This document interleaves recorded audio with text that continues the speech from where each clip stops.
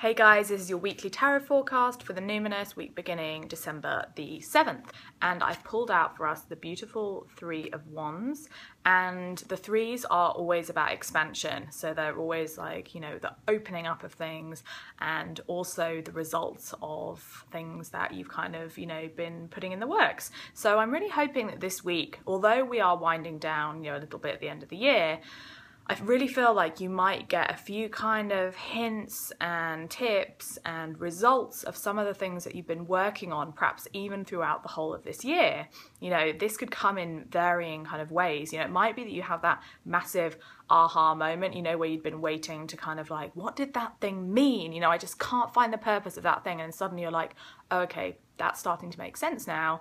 And, you know, on, on another way of looking at it, this is a card where we start to see the results of our manifesting. So I hope that you might start to, you know, it's kind of like that ship's coming back in feeling.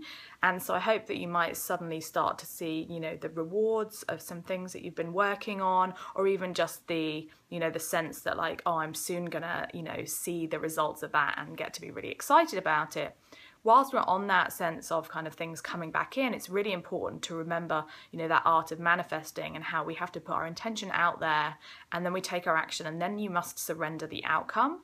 So I also want you to think this week, you know, if there's anything that you're kind of over controlling or obsessing about, like I really need that thing, and it might be time for you to, you know, practice letting that go a little bit because what we really need to accept, which is, you know, a very humbling part of our experience, is that, you know, we don't always get the thing that we you know think that we want you know? We often get something better or we often get something that we need that's going to teach us a certain lesson.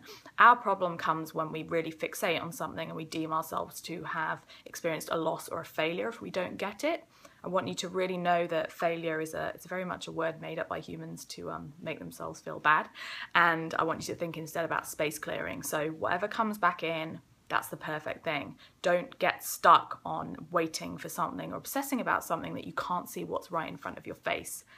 And on a final note, it's a fun, collaborative energy. You know, this is kind of light and bright and expansive. You know, I love this card. It really does say the world is your oyster.